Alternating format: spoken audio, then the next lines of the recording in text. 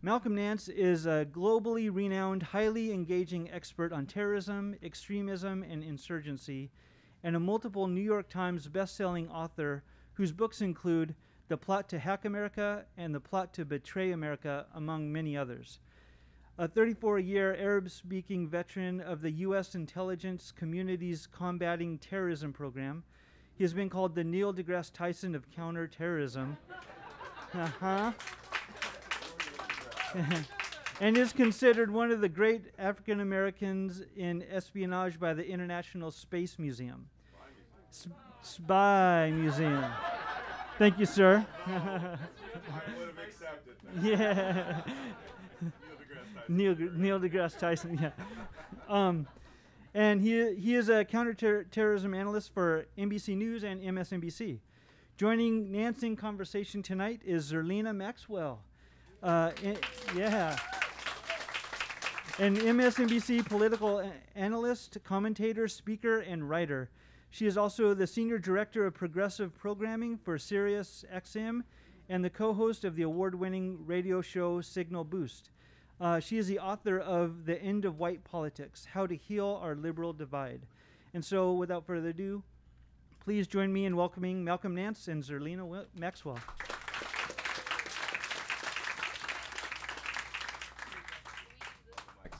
These mics and those mics. Okay.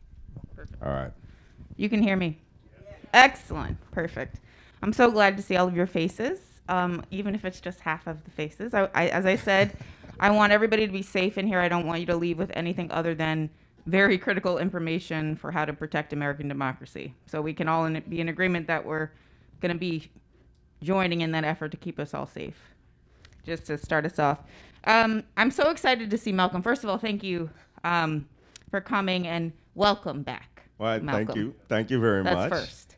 That's the first thing. Malcolm, you've been um, over in Ukraine. Um, but that's not actually why we're here today. We're here today because we want to talk about the threats to American democracy. So, in your book, They Want to Kill Americans, uh, you say that when the election was called for Joe Biden, people celebrated in the streets, literally. We all remember those images of people literally on top of cars dancing as if we've overthrown an, a, a dictator, like we, we see in other places.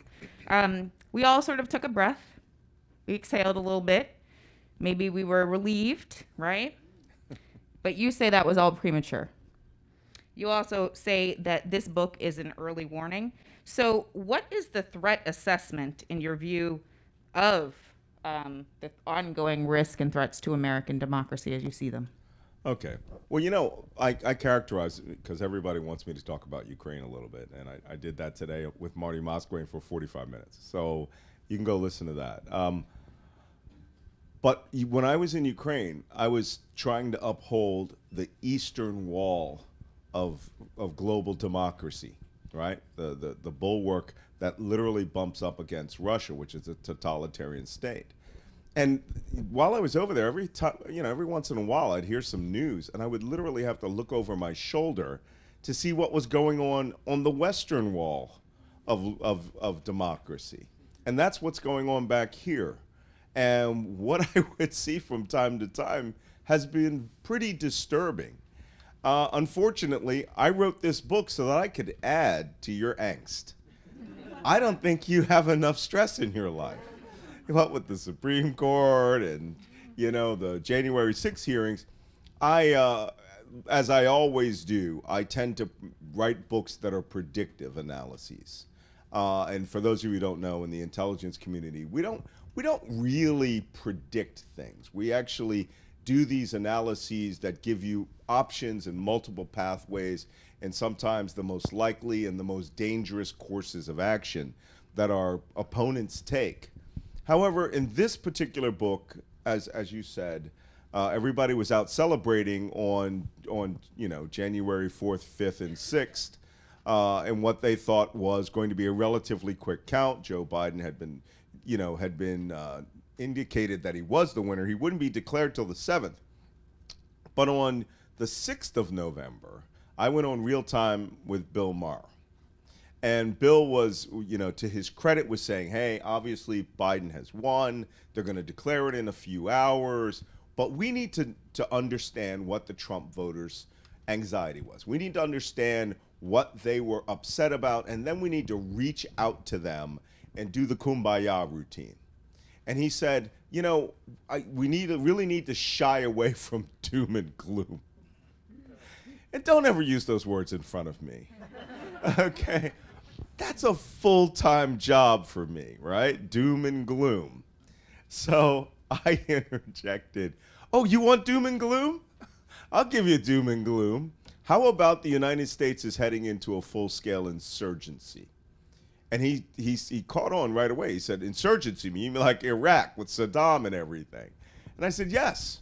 We are talking about a sustained campaign, which is what is insurgency is, where one party takes the arguments from the halls of power into the streets and uses paramilitary, political, and in some instances terrorism to destabilize a legitimate government and try to bring about de, you know illegitimacy to them to show that they cannot maintain security, they can't maintain infrastructure, they can't maintain power, and that they should be done away with in a insurgent backed revolution of some sort or the other. When I said that at the time, that's what I was envisaging. But I wasn't envisaging it happening in 62 days. I knew it was going to happen, okay, uh, throughout, but that night I didn't. I just knew what these people were saying.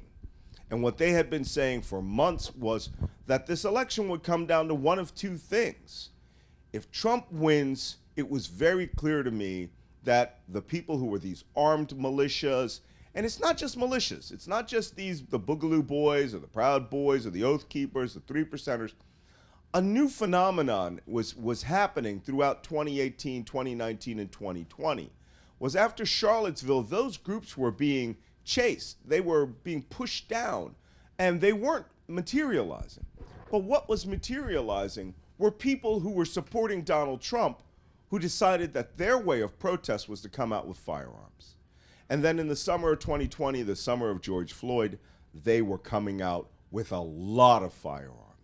And I, at that point, you would see these big groups. For a good example, Louisville, Kentucky, when about 200 of them were marching up and down the streets in camouflage with rifles.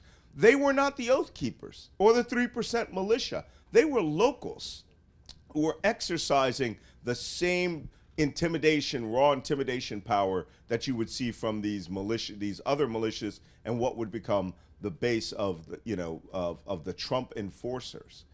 But I realized this is much broader than it is.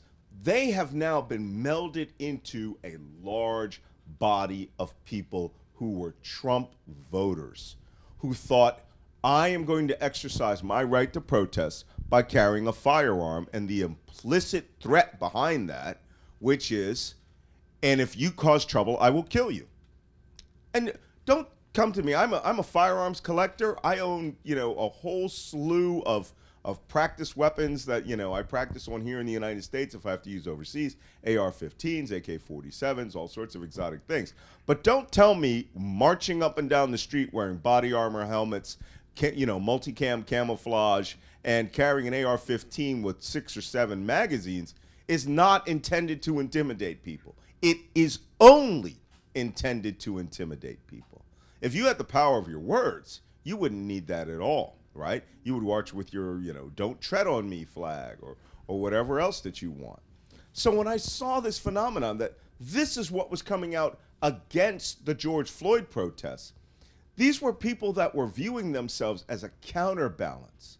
And they were gaining organizational skills from the from the Proud Boys, the Oath Keepers, the Three Percenters. But those groups were a fraction of what we were really seeing hit the streets. And we would see this in spades a few months later. So as we were coming into 2020 and I was monitoring their internal communications, where they were chatting with each other, like the Donald.win or which later would become Patriot.win, it was pretty clear to see that these people had in their mind that with their firearms, they were going to become, if Donald Trump won, the unofficial enforcers of his will. And if you want to call it the brown shirts or, or whatever. They were just going to be out in the streets in their Trump flag parades, you know, with their trucks And we saw them all over the place. Only this time they'd be carrying firearms. And they would be pushing their agenda, which is a minority agenda, over the majority of the nation. But because the majority of the nation doesn't vote, you voted for them to have these firearms to come out and do that. So that was one dangerous component of this. The other more dangerous component that I had predicted was that if Trump loses, all of these people go underground for a period of time.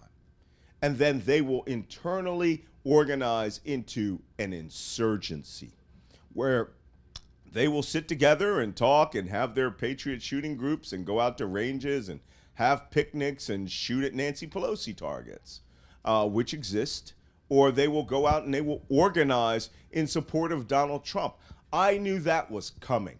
So the moment that it was clear that Donald Trump had lost the election, um, I went on air with Real Time and Bill Maher, and I just decided, well, I'm not going to play this media game of let's reach out, let's let's take a breath, let's say that America's been saved. America wasn't saved. America was kicked hard into a new phase of American history. That we were kicked so hard that it looked like 1860 in some places. So I realized we were actually standing into a very dangerous period. And so I did not pull my punch on that show. I said, we are headed into an insurgency. And the dot, dot, dot of that is an insurgency leads to civil war.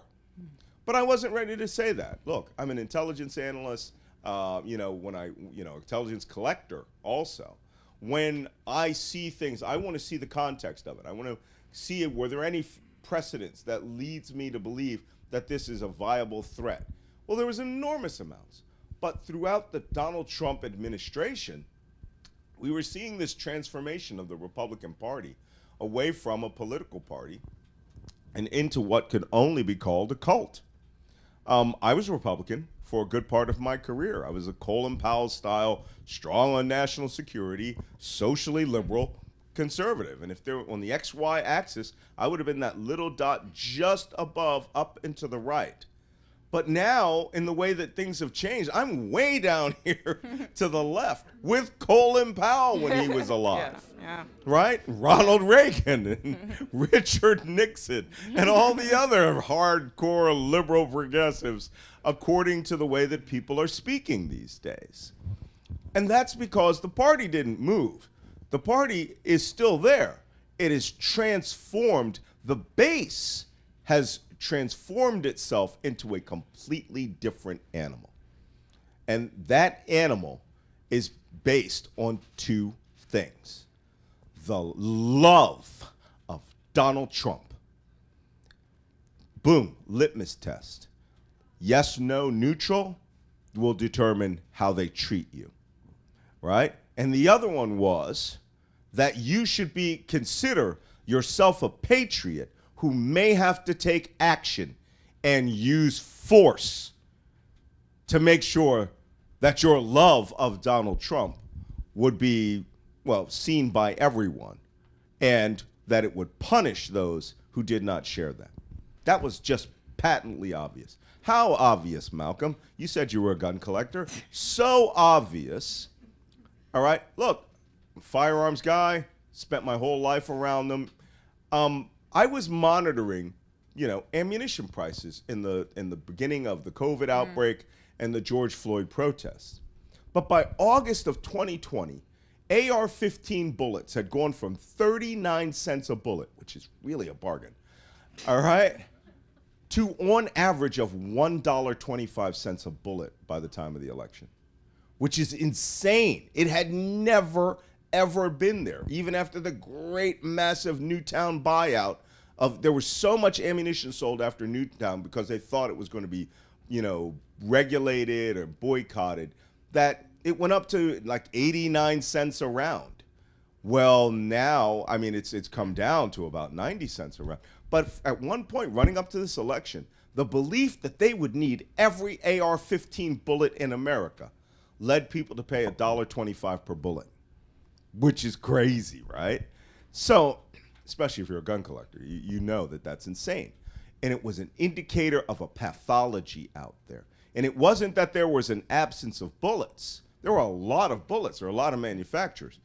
It's just that there were an enormous quantity of people buying AR 15s, and they were being told by, you know, gun enthusiasts, uh, you know, or or world without rule of law enthusiasts and survivalists that you needed to have a minimum of 1,000 rounds of ammunition for each firearm that you had. And believe it or not, 9 millimeter Luger was even higher. It was just crazy what was going on there. But these are really solid indicators that there is something happening here that we need to watch. So I watched it. I started monitoring their, their chat rooms. I have a follow up question. And Can I okay. just- no, no, no, I- It's related to what you're saying. So you're watching. yeah. But I, I do want to just refer to one thing you talk about in the book throughout, Yeah. which is the acronym Titus. So Right. you say that it's the Trump insurgency, um, the Trump insurgency in the United States, and it's an armed political cult preparing for this insurgency, and it's deny, attack, avenge, fear. Yeah, So this is what you're watching. Right. And what I was really watching was these people organize, not the Boogaloo Boys, not the Proud Boys. They're easy to wa- monitor. These guys are idiots, right? They all are these wannabe special forces guys. Proud Boys are street thugs. They are people, they started as a gang that was supposed to physically beat liberals on the street with your bare hands right? But by George Floyd summer, everybody had an AR-15. Everybody was rocking body armor. Everybody was going out and spending a thousand dollars on a combat helmet, and you know, wearing you know, size 52 pants, multicam. Um, that was just very common by that point. But what was happening was that that name that I, that Zerlina said a moment ago, Titus, T-I-T-U-S, was forming, and that stands for the Trump insurgents in the United States. To where it wasn't about being a boogaloo boy and wearing a Hawaiian shirt and preaching accelerationism. That's a given. It wasn't about being an oath keeper, you know, and believing that the entire government is out to get you, right? That's a given. It wasn't about standard operating procedure and white supremacy. That's a given. It's about your loyalty to Donald Trump. And if you were loyal to Donald Trump, you already subscribed to all of those things. You hated Black Lives Matter. Antifa was an enemy like Al Qaeda and ISIS that in your head you may need to have a gun battle with. Another thing that people were talking about quite a bit was they were talking about, you know, there was always the survivalist world, right? But they were talking about things breaking down so badly, as one one good analyst on the internet says, world without rule of law. That's what they call it when there's a natural disaster and the cops aren't there. You have to protect yourself. It got so bad there was actually a fire in Oregon. Just a natural fire broke out in Oregon. And this one town convinced itself that Antifa had set the fires and was coming to the town to set more fires. So they just jumped up, got all their guns, set up roadblocks and checkpoints into the town, and unfortunately, two bloggers from, you know, from Portland drove into this. Right? It could have been bad. And of course, the way it was defused was the police did not arrest anyone. The police did not say, put your weapons on the ground, let me see your hands, right at the checkpoint with 10, 15 guys. The police were like, would you disperse, take your weapons home, right? This is ridiculous. And I don't even, I'm not even sure to this day whether they said this is ridiculous, right? It was, you, you are not allowed to roadblock these roads. That's our job, right? But it was another indicator of the madness that was now taking over the Titus, that would become the Titus, the Trump insurgents. Now, why do I use that phrase collectively? Because in the intelligence community, we like neat packages. But more importantly, it's better to identify your threat with a cool title, right? Like Islamic State for Iraq and Syria, or you know, or or Al Qaeda al Jihad, whatever you want to call it. But, you know, Titus is a pretty solid acronym for people who it's all about Donald Trump. It's not about America. It's about a version of America that exists right here.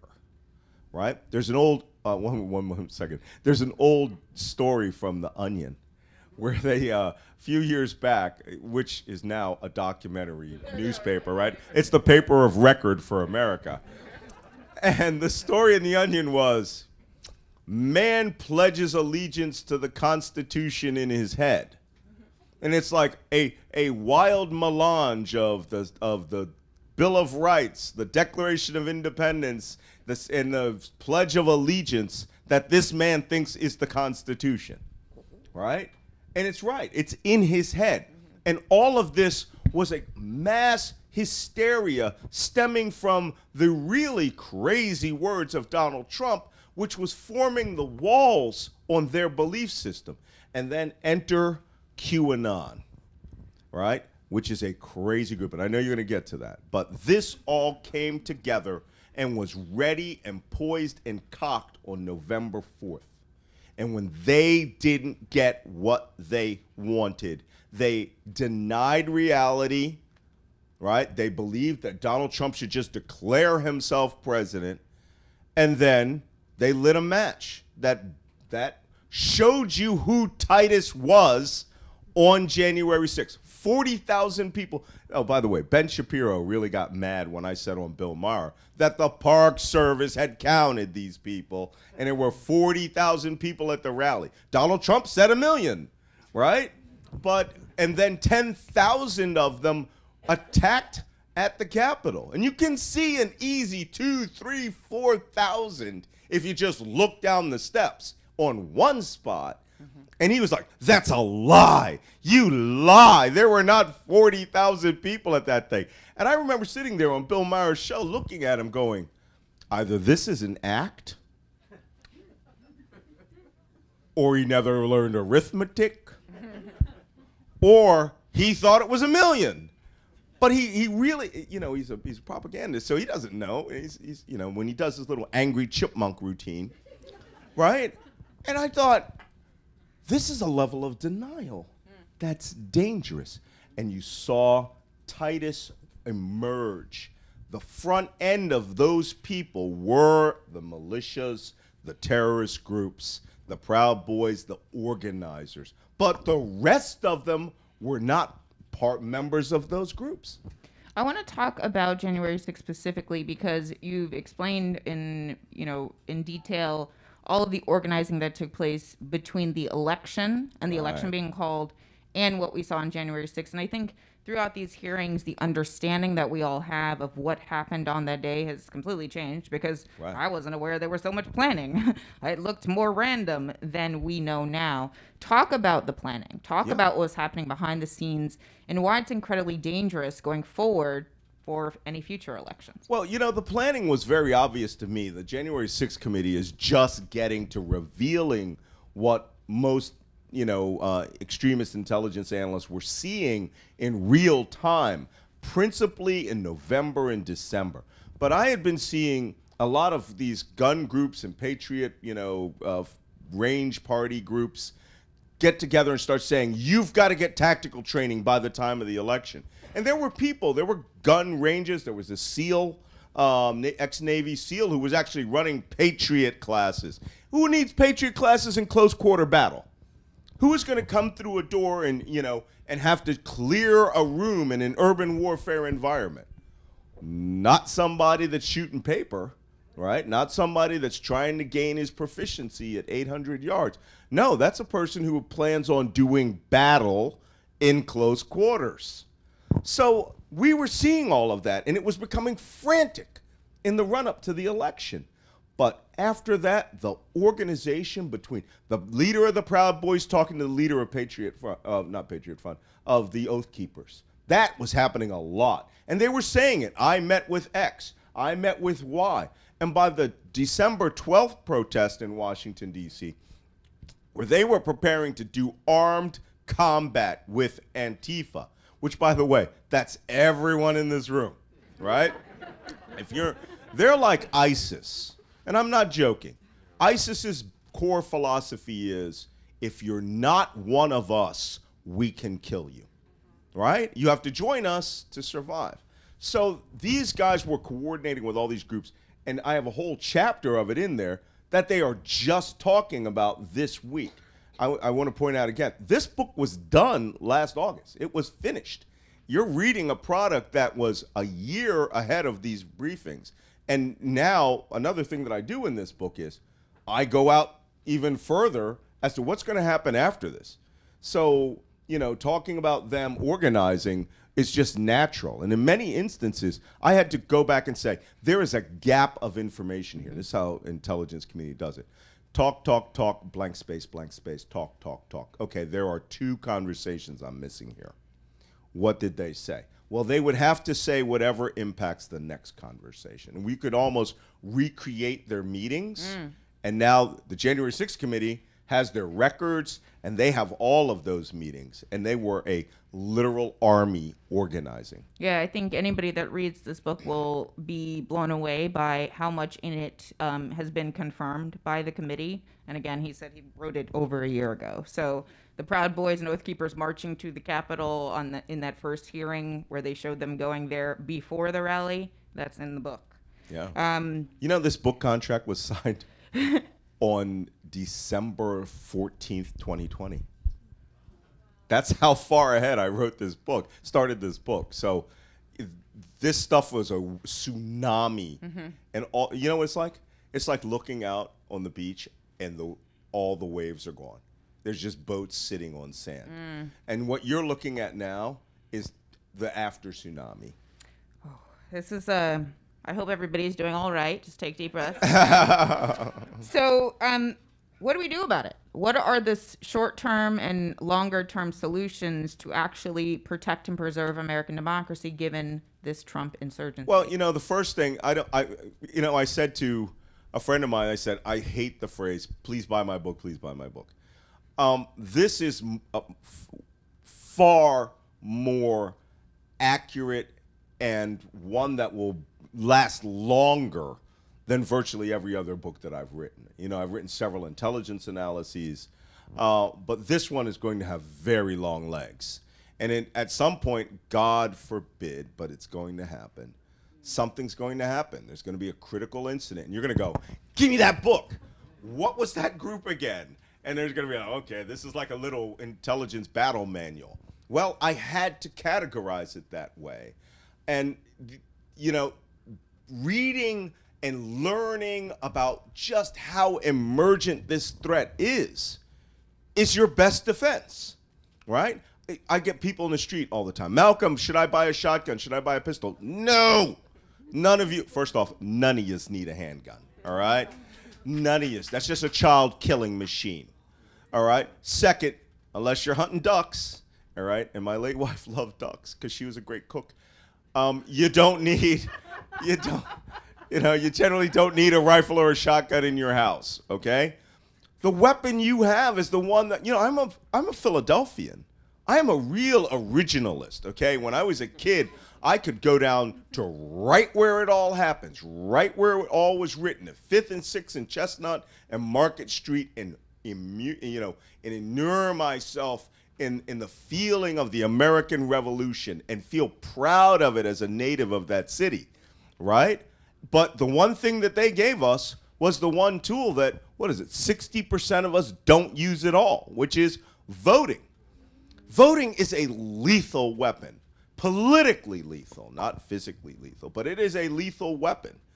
All right? And our biggest problem is is that we think of elections as these things that, you know, civic obligation that I should do but I don't want to do. And midterms are the worst because you think, well, it's not going to matter. I'm going to tell you right now.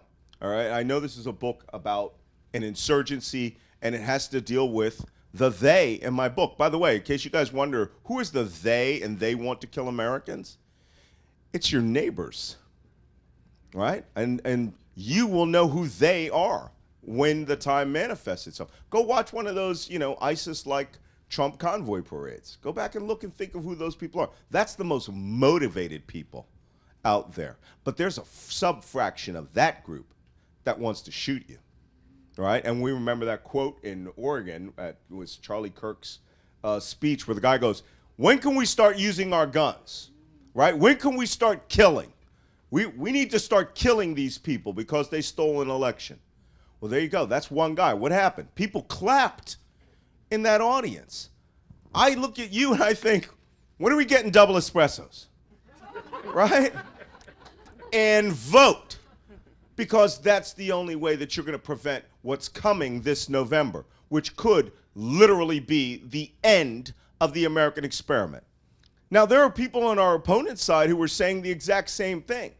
Only they're saying, and I'm going to get my AR 15 and I'm going to kill to keep the image that I have made up or have listened to from Donald Trump or a crazy guy who thinks that we're all drinking blood of children in order to keep ourselves young, because obviously it's not working. and it certainly doesn't make people lose weight. So, but they believe this stuff. The way that I did analyses of ISIS and I remember writing my writing my book Defeating ISIS, which was another New York Times bestseller. And somebody said, "What's the worst thing you read?" And it was how they were authorized to rape children, right? In a certain way before they got married. And I took my manuscript and I threw it across the room and I said, "That's the craziest thing I ever read."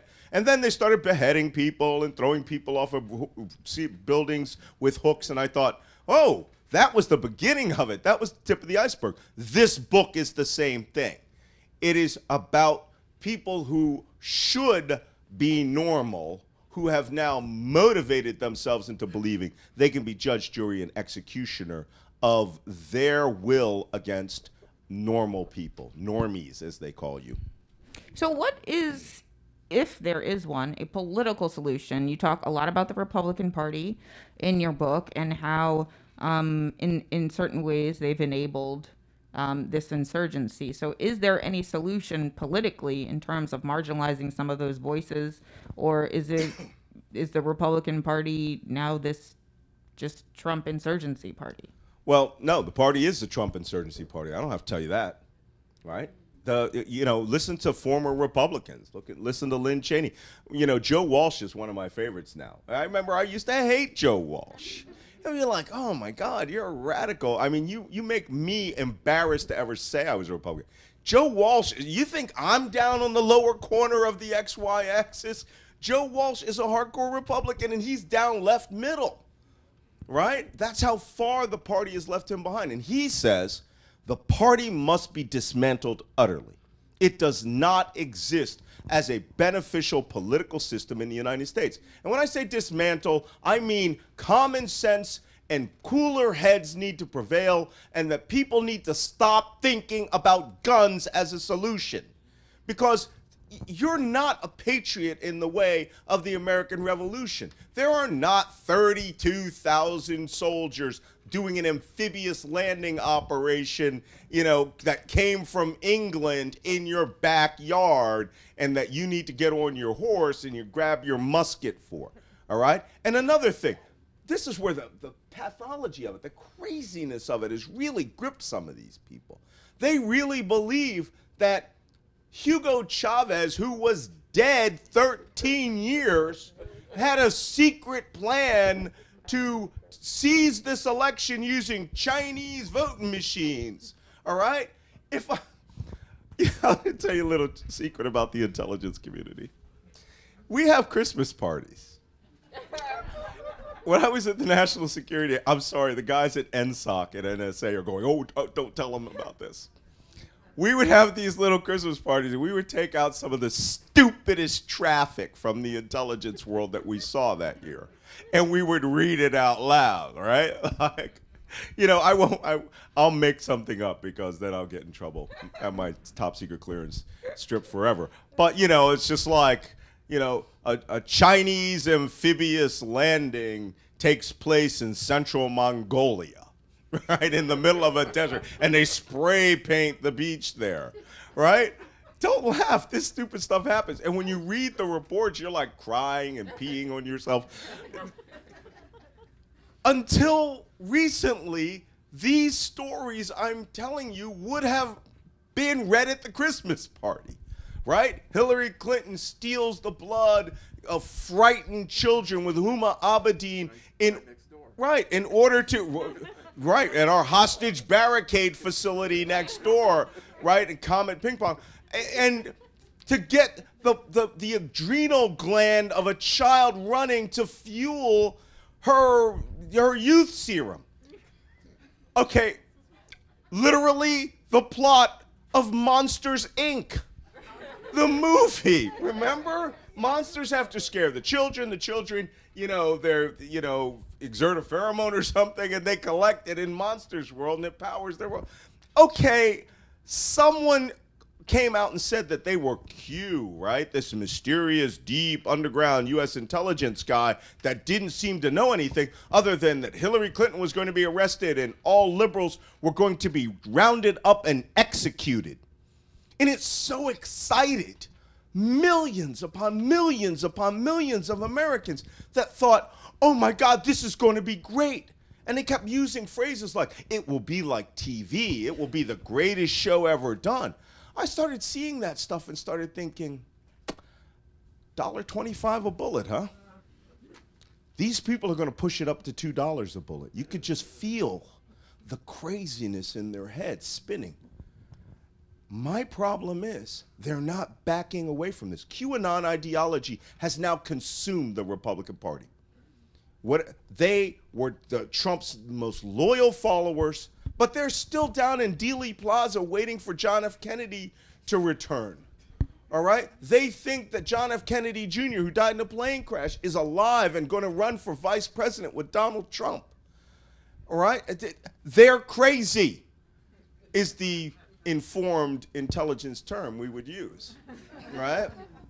And I never used that in my entire life, except for voodoo protective techniques of West Africa. When I, I saw that one time. Uh, but what we have here, and, and here's another thing they're watching us on this program because they like to watch the enemy and see what they say. I had on my Twitter feed today somebody. Not was- your enemy. You're if not. you were We're not- watching. No, no, we're Fel- your, my fellow Americans. we're your fellow Americans, but they don't view it that way. And when I say the they, you're going to know who they are. They're going to manifest themselves. Today on my Twitter feed, someone had listened to my NPR interview about threats to America and that Trump voters, a segment of Trump voters equal Titus. And they gave me death threats. As if to say, you know, I need to prove your very point by coming on Twitter and threatening your life because we don't really think that way. This is insane. They, they, they don't even hear themselves. The problem is, this is going to become a national security problem. The FBI is already bumping into walls because on January 6th, the, the, the best camouflage in the history of America was applied white skin approaching law enforcement. And they managed to close upon their opponents and still have that Cheshire Cat smile on their face and smash cops in the face with an American flag. And then raised the Trump flag over the Capitol in place of the American flag. There is a serious problem going on here. And I'm sure you have another question about it. Well, I did want to open it up for audience questions, um, and I know that you may have them. I just want to preface that with um, if you don't get to your question within the first 10 seconds, you know, when it's a more of a comment than a question type No of comments. situation, I'm going to cut you off. I'm a really nice person. I don't like confrontation. So just please make sure to ask your question. There is a microphone here if you would like to ask a question. Um, I'll just, anybody? want to get up and come ask. I will give you a moment to get settled. Thanks. Perfection. Okay, 10 seconds. I'm counting. All I'm saying is that you know, you know what I'm saying. Everybody knows what I mean. Hey, that's right? common. Everybody knows. Yes. One of the things January 6th committee hasn't discussed is why the National Guard was kept in the armory. I mean, they're talking about other things. We have a great D- DC National Guard here, Mm-hmm. and we have uh, neighboring National Guards in Virginia and Maryland. Mm-hmm. And what happened there, and why isn't it coming out what happened about that? I suspect they'll get around to that. Uh, what they're doing now is laying out the conspiracy. And it was very clear to everybody that day. In fact, I said on MSNBC in live coverage that evening as I was watching it, I said, uh, people are like, oh, they're protesters. I said, what you're seeing here is extremely dangerous. There is somewhere in these groups organized teams of what we call in the business murder cells and they are self-appointed or trained teams of two, three, five people whose job is to work through that sea of humanity, find specific targets, execute them, or to get people to start murdering people. And I've seen that in, in, in on the other side of the world. But as I saw that pro- I, protest, I, I started seeing that. Remember the stack, the group they called the stack from the Oath Keepers? I saw them with their hands on each other's shoulder, identical helmets, and I was like, that's possibly a murder cell. There is no way these people didn't organize this. 40,000 people around them, 10,000 in this mass. I've got six people who are going in there and they look like they've got purpose, right? And I, I kept thinking, how, how, if someone is not inside, right, who is not recognizing this, this could be very, very bad. So, with the National Guard taking hours and hours to go three blocks, right? The uh, Michael Flynn's brother being a general who was part of the decision-making cell to the point where the army lied about it, and then the next couple of days later, like, yeah, yeah, he actually was part of the group that said, "Don't send the National Guard in." Again, I'm sorry to say it, the camouflage of you know middle class white Americans who were there for a rally and a protest was the camouflage that allowed them to overcome the police and law enforcement. And it'll happen again. We see that camouflage applies when people aren't being shot to death for stupid things that I would get shot to death for just picking up my espresso cup. You know? And it's probably because I drink espresso. You know. Your question. Uh, so the white camouflage comment I think is so insightful, and when I look back on what I have seen, right, it was the Tea Party tax raises are a villain, it's an enemy, and then it was money is speech, and now with the recent Supreme Court ruling, it's guns are technically speech, right? So I heard you comment on the bullet price rising, and I've heard a lot of debate about so do I need a gun? And I love what you said about no, it's a child killer. Please, please don't buy more guns. Especially handguns. If you don't, don't- don't, don't if buy you don't You're not need a it. gun, don't buy a gun. but what what is there to the strategy of just buying the bullets to drive the price up? Because the only weakness I see amongst the community of white camouflaged people is that they are economically challenged and driving up the price of bullets where it's like I'll find a place to keep these. I don't really want to, but if, if all I can do is bankrupt you in in stocking up, I don't want to learn how to use a gun. I don't want to own a gun. I don't really want to be around them, but I know how to keep bullets safe. Before, before I criticize your comment, So oh, that's why I, uh, I need to know what's wrong with when it. I was in Iraq in, in 2003, I made a proposal to L. Paul Bremer, the U.S. General Consul there, that I give that we be given 50 million dollars, and I buy every spare gun on the Iraqi gun market. I drive the price of AK-47s through the roof. And then, you know, because it's free money, right? They were like $75 for an AK, fully automatic AK 47 and our wasn't to drive the price up for the insurgents. It was for the insurgent's wife to sell his gun, right? Right. And go, hey, and our, we, we had a motto: you have weapons, you know, you have weapons, we have cash. That was our motto. And his chief financial officer was like, this is brilliant. We could buy out this insurgency, which was only like a few weeks into it. Bremer saw it and he goes, there's no insurgency your idea may have some merit to the guys on gunbroker.com who sell bulk ammunition because they would love for this price to go up to $2 a bullet, $4 a bullet. But the bulk manufacturers are going to still manufacture millions upon millions of rounds and sell them at $2, $3 a bullet. And there is always some guy out there who's going to go, I have to do my plinking. All right, so I can be ready for the you know the the zombies, which is what they call you, or you know when the world without rule of law comes, uh, and they'll be more than willing to spend their child's you know bread money, you know milk money on bullets. And a- as sad as that sounds, it's true. They are not economically distressed, by the way. The Washington Post said wasn't it like sixty five percent of Trump supporters are upper middle class, seventy five thousand dollars and up who have a second home or a b- big bass boat or something like that. So, So Even the most recent witness was like, "Well, I lost my home," and I was like, "Well, you had one. That was so interesting Yeah. that you had a home. You owned okay, a home." that does, was, does that make buybacks a very valuable? no buybacks solution? are buybacks are worthless. Okay. They're they're worthless. They're good around the edges because your ma will sell your gun. But there are gun dealers that will buy every one of those buyback guns. Gun destruction would work, but there are laws in virtually every red state that say you cannot destroy those guns because some of them are valuable. You should sell them on auction. All right? It's a circular.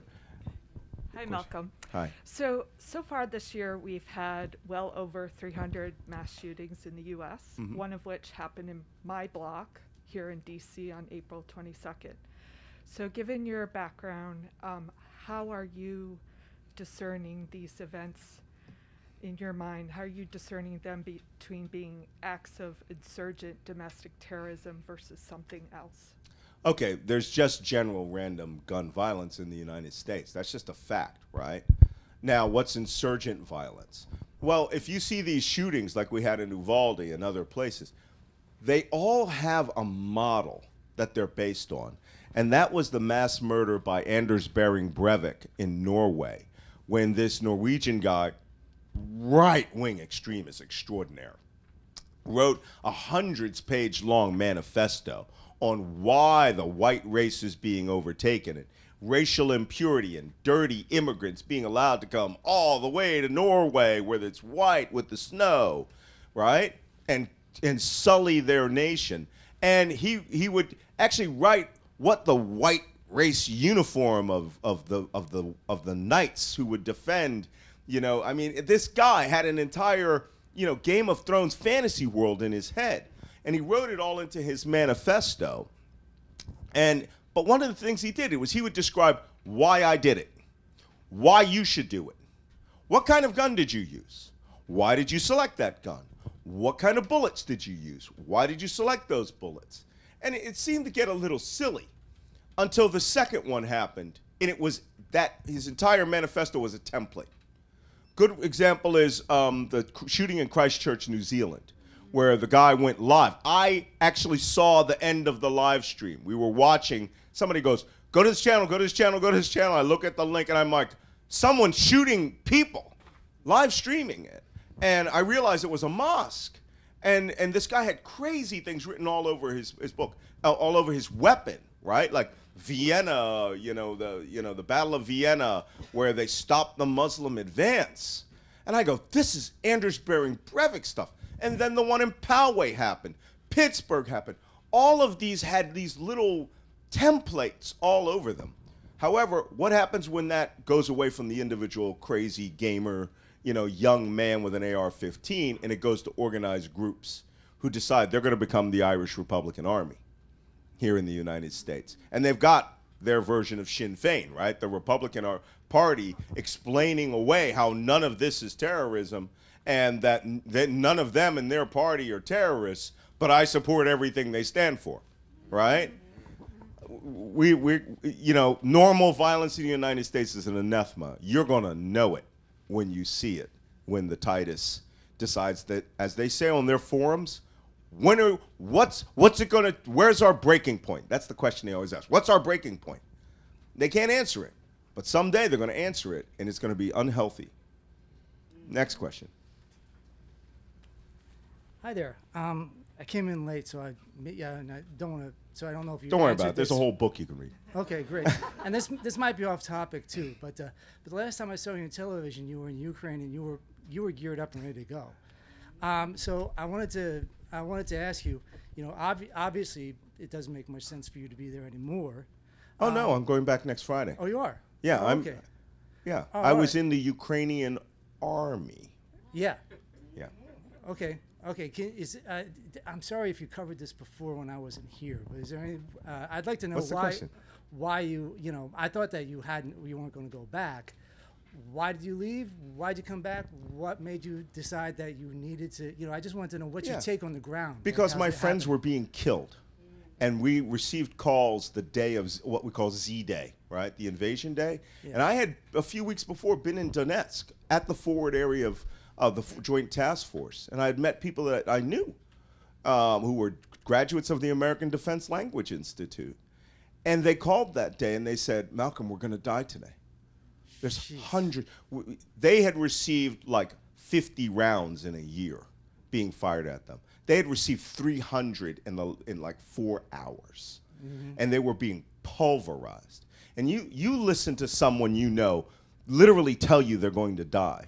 It's going to motivate you. rounds. You mean artillery or, or hard steel, right? the 152s? 300, 152 millimeter artillery steel hitting two, 300 per hour Sheesh. on the first day. Now you listen to that. And you're going to go back to that. You, no, well, I'm going to go back to it because everyone's taking that. It's equal risk. I had, I've been hit with bigger, 203 millimeter, eight inch naval gun, hit my positions, oh, and it was unhealthy. But uh, master of subtlety, right? Um, but I, I am in the Ukrainian army, or I'm right now. I'm on leave. But uh, I wear armor. I carry a firearm. You know, I carry know. a weapon. I, I have a grenade launcher. I'm part of a quick reaction force. I am on the front line. Uh, you know, a lot of these yahoos out there are like, your uniform's not dirty enough. This isn't Iraq. It's Central Europe. Okay, we you know we we we we, we wash our clothes. you know, it's not by hand. We don't wash it in the stream. We have washing machines. So you know, some guys who are on the who are, who have to dig in in the front, yeah, they get a little dirty. But the average, I actually had that someone ask that about an, a Ukrainian special forces officer who had a burning tank behind him, and Twitter was like, his uniform's not dirty enough. He's got a burning tank behind him, right? He killed it with a clean uniform. So, thanks for your question. Yeah, well, I'm just, I'm, Okay. uh, I'm sorry you got to go back. I, I was hoping to hear that you I wish to things were- God were, that- were better over there, that I- you didn't have to go back. I wish to God. Well, it's it's better now. I mean, we, we beat like three major combined arms armies, Yeah. and now have reduced the war down to about 15% of Ukraine's territory. Yeah. But they're mass murdering civilians. Right. This strategy of hitting malls and people, we call that the frustration strategy. Yeah. They're just shooting. They're like, Putin comes in and he goes, strategic rocket force air bombers. You haven't done anything today. Yes, sir. We're doing something right now. You know, the guy's like giving a high sign. And the guy goes, just shoot some missiles into malls, kill some Ukrainians. That's what they're doing. They mass murder children all the time. You need to go through the photographs and images and determine which one of those images makes you angry. And I'll tell you the one that made me angry. They bought a dead child out of the theater in Mariupol. Mm. And there's a video of it. You can watch it. And you can tell. I was a paramedic at one time, in my, well, EMT, in my career. And you can tell the child's dead. He's not breathing. And they hand him over to the two women EMTs, and you can just see their face. I have to try to resuscitate this dead child. And they go through the whole motions, and they start crying. And you know, there were a thousand people in that building. There were only 300 survivors. Which which outrage, which murder, which rape is going to make you mad enough to support this war past 140 days? Are we that lazy? We're in Afghanistan for 20 years. Yep. All right? There are Americans over there fighting alongside of them to hold up that wall of democracy because that's what it's about. It's not about NATO. Putin does not want a democracy on his front door because then they'll want it in Russia. Right? Right. But on this end, we got issues. We don't, we don't have it. We just, how many dead children did we just have Right. in this fight? So I hope that answers your question because I got to get to the next one. Sure, good luck. So Thanks. I think we're out of time What? officially for questions. All right. Give me However, it's not my fault. I'm just following. I'm just following the directions. So, so there's going to be a book signing. So I believe you'll be able to ask your question of Malcolm to to him directly um, as you get your book signed. Um, but I want to thank everybody for coming and thank you, Malcolm, for thank writing this you, book. They want to kill Americans. A must-read book, very timely. Stay safe, everybody. The signing line will start right here, and the books are available at the register. Great. You're first. Oh, sorry, my long-winded answers. How you doing? All right.